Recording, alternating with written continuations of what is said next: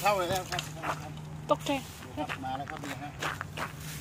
เอาเอาเอาเอาเอาไปดิผู้ชมคะตอนนี้นะคะ เราเจอตะขาบตัวใหญ่มากเลยนะคะ นี้ค่ะ หลายท่านอาจจะไม่เคยเห็นนะคะยังไม่เสร็จอีกอะค่ะ